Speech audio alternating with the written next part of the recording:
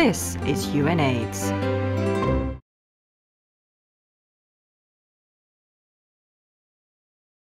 We have made tremendous progress in many areas of the epidemic, but what is a stark finding to me is a thousand young women being infected every day around the world with HIV. That's over 7,000 a week.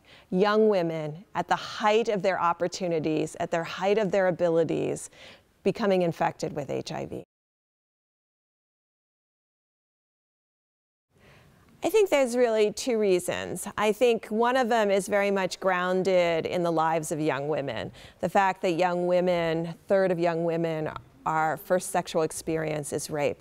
The fact that many young women, over 50%, are not in school. The fact that young women are devalued in their communities. The fact that young women are um, in a constant conflict with where they want to see themselves and where they are currently. And I think what we've learned in the last 30 years of HIV AIDS is that HIV prevention needs to be very much tailored, not only to the group, but the particular age bands within the group. And I think messages that will work for a 25 year old as far as HIV prevention may not be perceived in the same way by a 15 year old or even an 11 year old. So I think what we've really tried to do is tailor the prevention to each of the eh, relevant age group bands with messages and content and interventions that actually reach, reach them and address their core issues.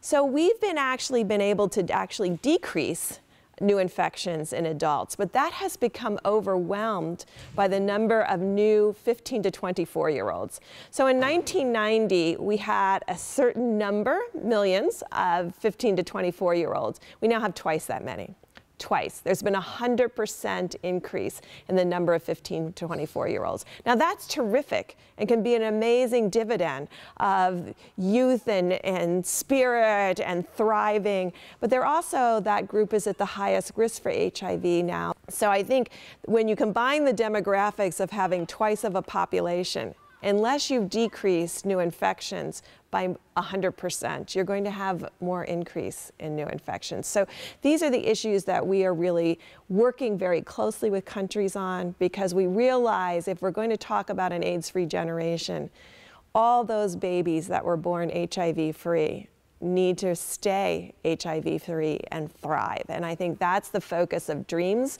which is determined, resilient, empowered, AIDS free, and mentored and safe young women, recognizing that you need to do each of those things in order to provide an environment and a community where young girls can thrive and remain HIV free.